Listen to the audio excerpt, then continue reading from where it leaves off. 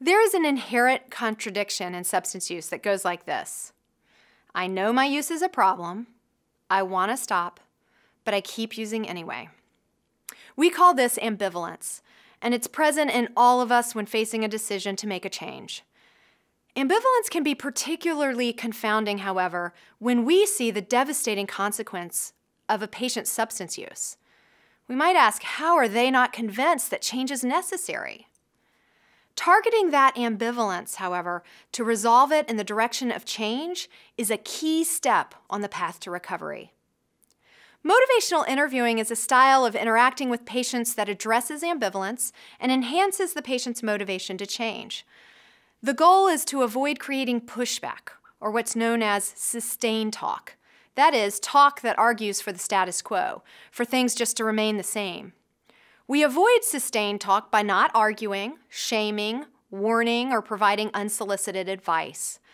Rather, this interview style works with a patient in a calculated manner to increase the moments in which the patient uses their own words to talk themselves into change. This type of talk is known as change talk. When done well, motivational interviewing increases the likelihood that your patient will enter into and remain in treatment. By the end of this lesson, you will understand the five underlying principles of motivational interviewing and be able to apply those principles by using a framework called OARS. Let's jump into the five main principles that embody the spirit of motivational interviewing. The first therapeutic principle is to express empathy through reflective listening. Reflective listening establishes a safe environment, builds trust, and creates an opportunity to examine issues and prompt methods for change. Empathy does not mean that you blindly support anything the patient says. It is a tough line to walk sometimes, being able to show acceptance but not necessarily agreement.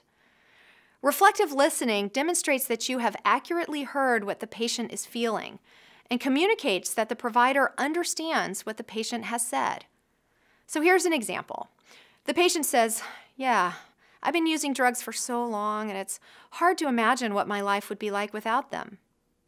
A provider practicing reflective listening might respond with this When you imagine life without drugs, it's hard to picture, but you're starting to wonder what this kind of change might be like. The second principle is to develop discrepancy. We know that motivation for change increases when a patient perceives discrepancies between their current situation and their hopes or goals for the future. This technique allows you to step in and dig deeper to see if there's a conflict between the addiction and the patient's goals, personal values, or spiritual beliefs. Gently highlighting the difference between where they are now and where they want to be, which is generally done through reflective listening, helps nudge patients in the direction of change. Ideally, like in all principles of motivational interviewing, the patient rather than you as the provider, should present the arguments or provide the reasons for change. An example of developing discrepancy would be a provider saying something like, on the one hand, drinking relieves some of your anxiety and helps you feel comfortable in social situations. On the other hand, however, you are concerned drinking is affecting your sleep and your work performance. In this case, you are acknowledging the benefits, but ending the reflection by noting the downsides. This makes it more likely that the patient will respond to the negatives by saying something like, Yeah, that's right. It really bothers me when I can't give my all to work. The third principle is to avoid argument and direct confrontation. If you have any experience in dealing with challenging patients, you've probably at some point or another been drawn into an argument, especially if that patient is unsure or unwilling to change. Trying to convince a patient that a problem exists or that change is needed when they don't see it that way will increase sustain talk, probably sow discord, and in some cases, increase substance use. In trying to prove a point, you might see the patient predictably taking the opposite side. These types of arguments with a patient can rapidly fall into a power struggle and undermine motivation for change. So, if this happens, take a deep breath, Simply recognize it and use it as a sign that you need to alter your strategy.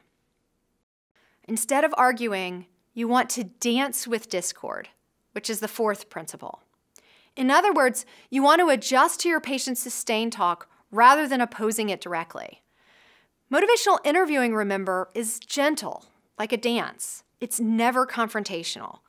Any talk that is arguing to stay the same is sustain talk, and it might look like minimizing the consequences of use, blaming other people, or making excuses.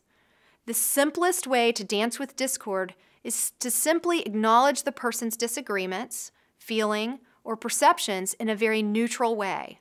Take the following example. A patient might say to you, Who are you to be giving me advice about drinking when you probably go home and drink too? You might be tempted to engage that patient by defending yourself. But the motivational interviewing way would be to respond with something like, It's hard to imagine not drinking. The fifth and final principle of motivational interviewing is to support self efficacy and optimism. It's well known in addiction treatment that patients have typically lost their confidence or their belief that they can maintain even the most minimal change in behavior. Everyone brings something to the table, so recognize the patient's strengths and highlight them when possible. Belief in the prospect of change is an incredible motivator. Not only must patients believe change is possible, but also be responsible for carrying out the change. Educating the patient, maybe by helping them to understand the biology of addiction or the statistics about recovery, can help lessen the shame and guilt they may have and give them hope that there is still a possibility for recovery. So, to review, the principles of motivational interviewing hinge on being empathetic, developing discrepancies, avoiding arguments, dancing with discord, and supporting self efficacy. Now that we reviewed the principles, let's jump into some specific strategies. There are four core motivational interviewing skills, also known by the acronym OARS. OARS stands for open ended questions, affirmations, reflective listening, and summaries. These techniques can be utilized in any patient conversation, but are particularly useful in early stages of treatment.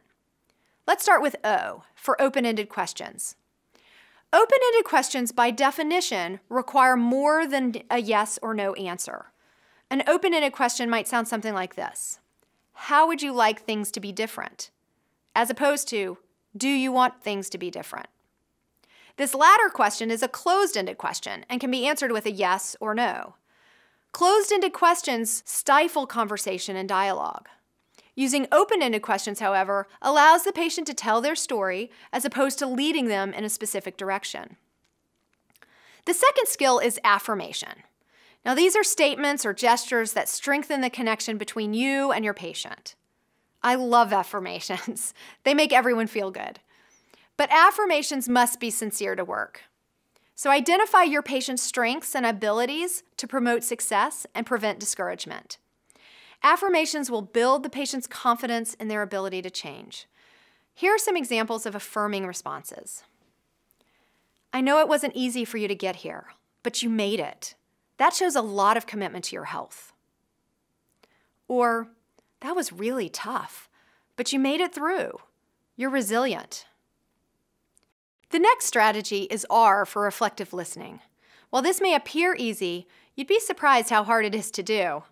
At first, it might not feel natural. You must have both a genuine interest in what the patient has to say and a desire to understand how they see things. In other words, you must develop empathy. Good reflections might be to simply repeat what the patient says, rephrase or paraphrase what they said, or to offer a deeper reflection of feeling. Reflecting a feeling might sound like, you feel stuck, or you're really angry about this. And remember that it's totally okay to get your reflection wrong. Patients don't get mad, instead, they'll correct you. For example, no, I don't feel angry, I feel misunderstood. And now you, as the provider, have moved forward in understanding your patient's perspective. The final strategy in OARS is S for summaries. Again, just like in any standard medical interview, it's essential to summarize throughout the conversation. Here, it can be particularly helpful at transition points. For example, after they have talked about specific experiences or near the end of your conversation. Here are some useful structures of summary statements. Let me see if I understand so far. or here's what I've heard, let me know if I've missed something. With this technique, it's important to give special attention to change statements made by the patient. And above all, be concise in your summary. So there you have OARS open ended questions, affirmations, reflections, and summaries. There have been countless studies on the effectiveness of motivational interviewing, and we hope that you and your patients benefit from adopting this communication style.